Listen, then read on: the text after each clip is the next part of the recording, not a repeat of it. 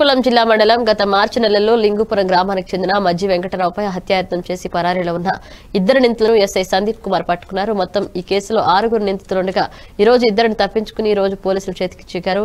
వీరిద్దరిని arrest చేసి కోర్టులో హాజరుపరిచారు.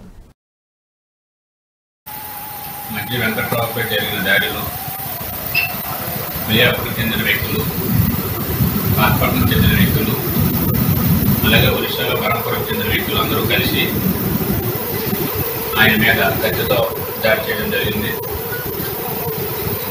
ఇందులో మొత్తం ఆరుగురు వ్యక్తులతోనే నలుగురిని అరెస్ట్ చేయడం జరిగింది.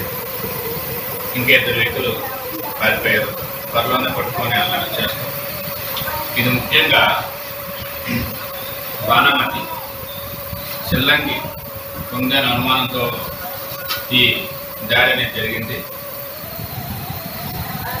నేను చెప్పేది ఏంటంటే ఈ రోజుల్లో బాణమతి కానీ చెల్లంగి కానీ లేదు.